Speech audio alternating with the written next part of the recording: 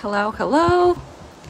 I Continue to what I started with what I started uh, talking about yesterday. Language is something that we are using every day all the time and we don't uh, really think much about it when we communicate with the people that we feel comfortable uh, talking with we are used to just expressing ourselves and we don't even uh, see or hear ourselves you know as if from the outside however if you want to be effective uh, communicating with other people you that you have not uh, talked with or expand your audience then uh, you might not even realize that people might not understand what you're saying or what you're saying is not landing, uh, landing well with your audience. Culturally but also from the point of view how you sound when you uh, simply pronounce words. And uh, therefore like although we all uh, here in, where i uh, live we speak english uh, in our daily lives to be honest when i first came here and uh, started living here i had uh, difficulties to understand local people, how they speak, because there are subcultures.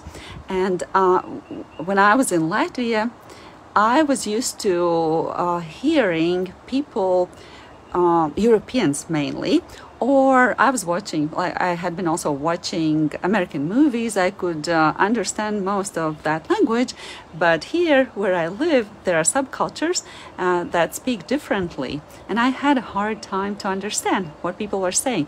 For instance, um, I remember that um, I wanted to join a garden club, and I posted uh, pictures of my garden um, at that time when I started my garden. I wanted to join a garden club, and people were so kind and um, they uh, they invited me uh, to their meetings. And I remember that uh, once we uh, were supposed to gather in uh, one of the members, garden club members' house, and I didn't know where that house was. And there was a lady who invited to take me to to that place.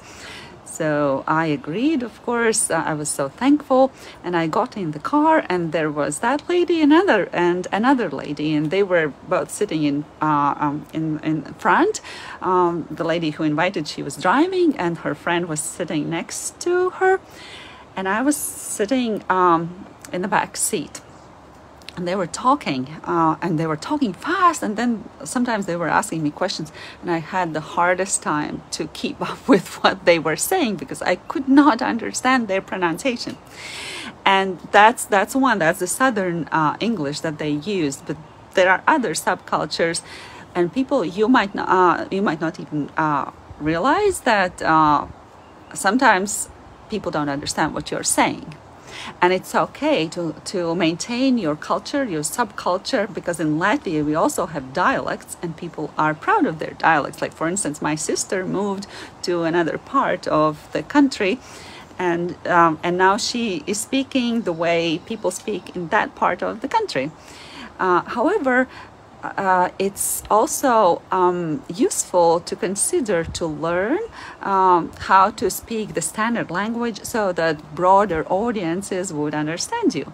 And for that some uh, you you if, if to help you with that um, language can be broken down. You can you can listen to yourself um, speaking. For instance, you can uh, have your uh, speech recorded, and you can analyze which sounds you pronounce differently, which vowels you pronounce differently than uh, the standard language, for instance, and which consonants or uh, what uh, letter combinations or sound combinations you pronounce differently and uh, probably you will never completely get rid of uh, especially if you are uh, like older generation like I am like for instance middle age or so you would probably not uh, totally get rid of your dialect or accent but you can get closer to the standard language by just understanding what those differences are that that um, distinguish you from how what the standard uh, language is. And this is not to criticize once again it's not to criticize the the way you are speaking but just to give uh, just to say that hey maybe it's worth uh, looking into it and and and trying to see how I speak. Because maybe somebody who's trying to be friends with me or who's trying to understand my message uh, simply doesn't understand me. That's one, it's about the pronunciation, but uh, it's also about our voice, our stance, our pace and cadence and how appropriate it is for the occasion or situation where we are speaking. For instance, now I speak just like I normally speak in a conversational language. However, when I present my speeches, I do it differently. I try to not use uh, I, uh, use ahs and ums. That's what we do in uh, Toastmasters Club. We practice uh, getting rid of those filler filler words and uh, I might speak uh, uh, speak uh, louder. I might have pauses. All of those things that really, really help to make an impact that you are trying to make. Also, for instance, meditations when I do meditations, of course, I would slow my pace down and I would speak in a different voice. Also, when uh, how it depends on how um, we stand, or I, uh, even if we stand or sit down while we are speaking, it all uh, affects how we come across as speakers. So this was what I meant when uh, I was talking about the language and learning the language.